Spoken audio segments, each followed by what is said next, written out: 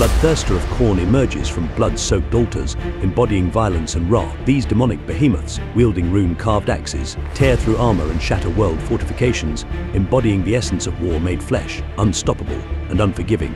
Their presence on the battlefield signals doom, driving the legions of Khorne into frenzies of slaughter. Allies, fueled by the Bloodthirster's aura, turn battles into bloodbaths. Witnessing a Bloodthirster in action is to see war incarnate. Their thirst for blood is insatiable. Even the bravest souls tremble before their might, as these avatars of war seek out the strongest foes, leaving a trail of destruction and fear. In their wake, nothing remains but the echo of their fury, a testament to the dark power of Khorne.